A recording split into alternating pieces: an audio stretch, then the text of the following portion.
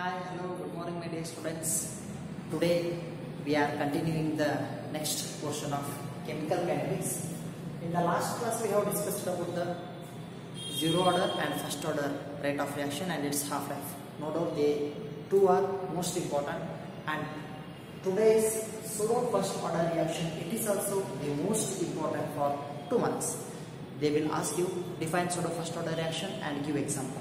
So it's important for your examination point. So look here, what is pseudo first order reaction? Here pseudo first order reaction is nothing but it's a order where the reaction which is having the higher order of the reaction can be converted into the lower order of reaction. It means some of the reactions are having, we know that order of the reaction is probably, it will not exceeds more than 3 or 4. So it means if some reactions are having more order of the reaction, means order of the reaction maybe 5, 6, 7 like that. So such kind of higher order, higher order reaction can be reduced to small number of order of the reaction. That process, that reaction is called as pseudo first order reaction. Pseudo first order reaction is defined as the higher order reaction can be converted into the lower order reaction. So here, for example, can you see here in this example, CH3COO C2H5. It is ethyl acetate which undergo reaction with the water in the presence of acid. Therefore, it is called as acid hydrolysis of acid hydrolysis of ethyl acetate. Ethyl So to the acetate, we are adding the acid in the presence of acid. So we are adding the water in the presence of acid. Therefore, it is acid hydrolysis of ethyl acetate. See here, when this ethyl acetate is dissolved in the water in the presence of acid, it is going to give the acetic acid and ethanol. So in this process, what happens? How we are converting the higher order into the first order means by considering one of the reactant. The reactant may be two, three or many more. But among those reactant, only one. We are considering all the concentration of the reactant. But one, either this one or this one. We are taking one in a large quantity. So large quantity is nothing but. So here water we are taking very large quantity. So that the concentration of the water is do not changing. If concentration of water is nothing but if the quantity is less, we have to consider it is variable. If the quantity is more means concentration it is taken in a large quantity. It means its concentration never changes. It seems to be a uniform. Therefore to make the higher order reaction to a low, lower order reaction we are considering all the reactant except one in a large quantity. So here between these two we are considering the water we are taking the water in a large quantity large process so the that's why it is considered as a constant. Means if we take the water more, the concentration means order of the reaction is taken as constant. It is one.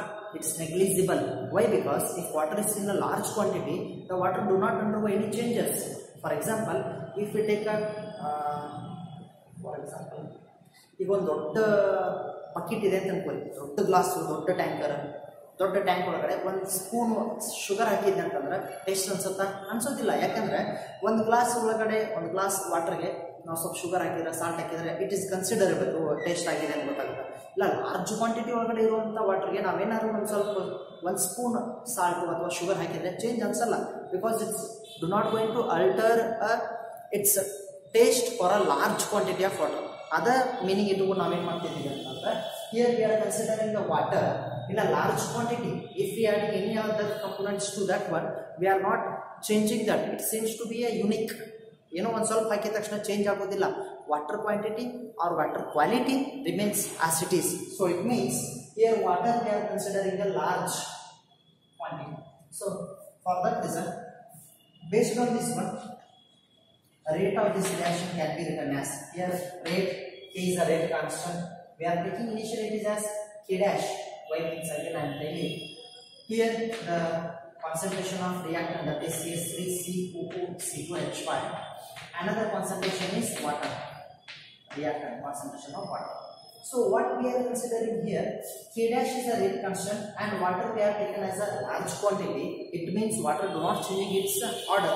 For that reason, we are considering K dash and concentration of water. Together it is another constant that is K. We are considering this one. How means rate constant is considered as K dash and together water concentration of water is not changing because we are taking large quantity. Therefore, together K dash and concentration of water together we are representing another constant that, that is small k. Initially we have taken as K dash. Therefore, K concentration of CH3, COO, C2H5. Look here, the concentration, the power of this one is 1. Here we are not writing any power because it may be any power but if we take a large quantity its order are not considered because it is not changing. It's a unique therefore by neglecting this water we are writing only this one. Concentration of one reactant because we have taken this one is more. Why? Because if the concentration of H2O is in a large quantity it is not altering it is negligible. Therefore the rate of the reaction it may be a higher order by considering the water but we are neglecting. Why? Because we are taking the large quantity. So this kind of process is called as pseudo first order reaction. What is pseudo first order reaction? The higher order reaction can be converted into the lower order reaction by considering all the reactant except one in a large quantity such kind of process or such kind of reaction is called as pseudo first order reaction for example first one is this one another one is Inversion of cane sugar is also example for uh, pseudo first order. Means inversion of cane sugar means converting the sugar into the uh, glucose and sucrose. That process also follows the pseudo first order. So I will send you the notes for this one as I sent in the previous videos. So based on that you can write it. Okay. So coming to the next one, here is a definition or the small concept for your examination part. It is not important. Uh, it's not coming in theoretical part. I mean to say in your exam or in coming the theory we are not discussing. It's not having any application. But it will help you in the competitive exams. If you go for the CET or uh, NEET JEE uh, applied questions or in problems you may get this definition based on this definition the problem will be given Therefore, it's important for your competitive purpose, not for theoretical purpose. Means for your annual exam, it's not important. So, anyhow, what is temperature coefficient? It will be the meaning of temperature coefficient is nothing but it is the ratio of it is the ratio of specific rate constant. Here K is nothing but it is the K is nothing but rate constant. We are calling that as specific rate constant, or we can call that as simply uh, rate constant. Temperature coefficient is nothing but it is defined as the ratio of rate constant, the ratio of rate constant differing by the temperature by 10 degrees Celsius. It means take this up, the reaction, the same reaction sometimes it is, uh, it is considered as a rate constant for uh, 30 degrees Celsius, the rate constant for 30 degrees Celsius. Another reaction, the same reaction taken by differing the temperature at 40 degrees Celsius rate constant is variable. So what we are saying in this expression is rate constant rate constant is depends on the temperature. So as the temperature varies, the rate constant also varies. They are interrelated to each other. So it means that temperature coefficient is nothing but it's ratio of these two are the ratio which is containing the rate constant differing by the temperature of 10 degree means sum of the rate constant for any temperature, you can take just 10 degree, 10 degree Celsius, the rate constant is this much. The same reaction again when the temperature is greater than 10, the previous one. If it is 10 degree, 10 plus 10, 20 degree Celsius. If it is 25, at 25 degree the rate constant is this much. At increasing that by 10 degree means 25 plus 10, 35 degree. At 35 degree what will be the rate constant? The ratio of these two is called as temperature coefficient temperature coefficient is the ratio of specific rate constant differing by the temperature 10 degree. They are having the difference of 10 degree. The upper one is having that 10 degree greater than the lower one. That ratio is called as temperature coefficient. Are you getting this point? So coming to the next one. Here, the important theory in this chemical kinetics, this one also it will be asked for 3 marks and in the previous question paper it is asked. Look here, explain the Arrhenius theory of activated complex. Explain the Arrhenius theory of activated complex or discuss the Arrhenius theory. So here Arrhenius is the name of the scientist. He is going to explain that to form the reaction, to continue the reaction, we need the reactant to be active and to form that reactant as an activated complex. What is that activated? So activated is nothing but when the reactions are continuing means reactant to the product the reactant do not react with each other. Concentrate here. The reactant do not react with each other unless they become unstable. Are you getting this point? If they are stable means they will not react with each other. They have to be uh, unstable.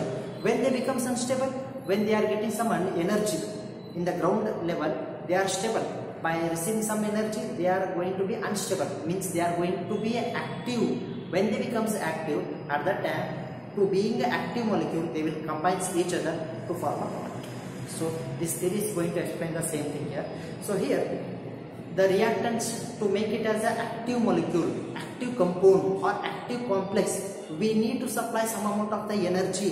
What is that energy is called? How much minimum amount of energy is required to make that reactant to act, react each other means to form that as active molecule. This way, this theory is going to explain about the formation of reactant into the product by making the reactant as active molecule. That's why the theory explains the activated complex. So let's begin. Arrhenius theory of activated complex. Look here. For example generally hydrogen when reacts with the iodine is going to hydrogen? Iodide. Hydrogen. Iodide. HI so by making this balancing two hydrogen and two iodides in the right hand left hand right side. So this is general expression. Looking at the mechanisms it's not a mechanism it's a theory of arrhenius. How means generally instead of writing this HH by side by side I am writing here below just uh, to make you clear. No doubt in the notes also we can write the same thing. H2 and this one is I2 when hydrogen combines with the iodine it's going to form the hydrogen iodide. Look here. So initially these hydrogen and iodines are not directly form the hydrogen iodide. So they are going to form the activated complex. How means? Initially they will take a temporary bonds, temporary bonds. How means? H and H, and this is I, another one is I. H2 plus I2, they will react with each other. They will react with each other. At that time, this bond will mix. So this bond is mix. Can you see here? So here dash dash dash line indicates that the bond is not perfect, it's weak, it's loosely bonded. It means the dash dash this bond, straight line of bonds are not there. It means that the bond is weaker, means it's not strong, it's a weaker. At any time it may have the breakage. That is the meaning of this dash line. And same thing, it means this hydrogen bond is weaker. Why? Because the hydrogen is making a temporary bond with the iodines. Here also this hydrogen is making the temporary bond with the iodine. So this is called as intermediate. Intermediate. I hope uh, you remember this kind of the reaction in uh, haloalkanes and haloarenes. Might be you are having intermediate SN1 or SN2 reaction you are having this intermediate. Uh, look here in SN2 you are having single step reactions. Same thing here hydrogen and iodines what we are going to get here hydrogen iodide we need so it means this HI is going to form a new bond and there is a cleavage of hydrogen H2 and I2 undergo the cleavage. This bond will cleave and HI and HI is going to form. So next step is HI plus HI is going to form. Therefore we are calling that as 2HI is formed. So it means what here here, hydrogen and iodines are not directly forming the hydrogen iodide. And in the they are taking a bond presence of everyone means hydrogen to iodide, hydrogen to hydrogen. These are having the weaker bond. If they undergo the forward reaction, it means hydrogen iodide will take up bond by breakage of HH and ion. if it is taking a reverse reaction hi bond will cleave and hydrogen bond will form.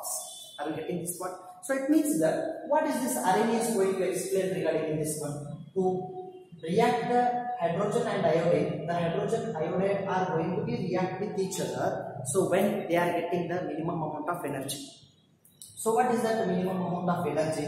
So minimum amount of energy is called as. Before we move to the that, that explanation, you just uh, you will have a look of that important diagram. So this is also important. Next one is theory. Based on that, we will understand the Arrhenius theory better. So look here, the Arrhenius theory of activate, uh, activated complex can be understood by this graph easily. So my intention to explain the theory on the basis of some diagram or some uh, concept keeping in mind, it will be easy to understand the theory. If it is theoretically point only by the sentence, it's not possible. Therefore, I am giving you the notes, but try to understand, explain this concept based on this theory. So it will be easy one and you can understand, remember it up to the end of your exams. So look here, this is the graph and uh, x-axis shows the formation of reaction or reaction carried and y-axis is potential energy. In this potential energy I have drawn some graphics. So look here, here it is representing the energy means potential energy of the reactant. Uh, the reaction whichever we are taking in the previous, the reactants are hydrogen H2 plus hydrogen. When hydrogen and iodines are combined each other, they are never reacts with each other unless and until they occupy some amount of the energy. Why? Because they have to get the more energy so that in that energy only they will unstable. You are not supposed to use the word unstable. Why I am saying to understand you, that's all. Here the energy, initially they are not having energy. So when we get minimum energy to make them activated, when they are active then only they will react with each other. Therefore, to make this reactant active or activated complex or active molecule, the amount of energy is required. How much of energy is required? Hydrogen and iodines are going to combine with each other when they reaches this point. This point. This is called as activated complex. This itself is called as activated molecule or active energy. We can call this as active energy.